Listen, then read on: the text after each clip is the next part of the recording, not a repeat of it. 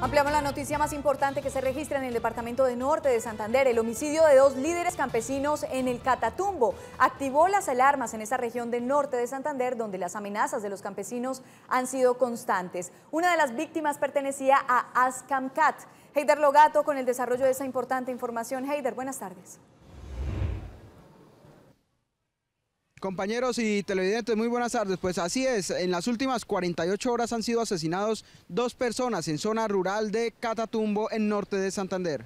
De las dos personas asesinadas en el municipio de El Carmen, en norte de Santander, Ezequiel Rangel era líder de Ascamcat. Por su parte, Diofanor Pérez era hermano de un miembro de esta misma asociación campesina. Nosotros queremos lanzar un SOS sobre una forma más de persecución a esta organización campesina sobre la necesidad de que estos crímenes no vayan a quedar en la impunidad como tenemos otros, los muertos del paro, otros que han sido asesinados. El informe más reciente de la ONU revela que Norte de Santander es el tercer departamento con más amenazas y asesinatos de líderes sociales y de derechos humanos en Colombia. El departamento está ocupando el deshonroso segundo lugar en esta situación. Ya ha ido, perdón, tercer lugar.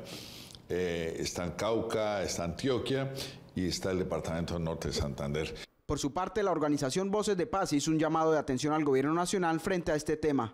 Le solicitaría al gobierno nacional y sobre todo al Ministerio del Interior, al Alto Comisionado para la Paz y al Ministerio de Postconflicto que están en las exhibis que efectivamente se pronuncien de manera contundente y enfática rechazando todas las situaciones de riesgo de amenaza contra la Asociación Campesina del Catatumbo acá en norte de Santander.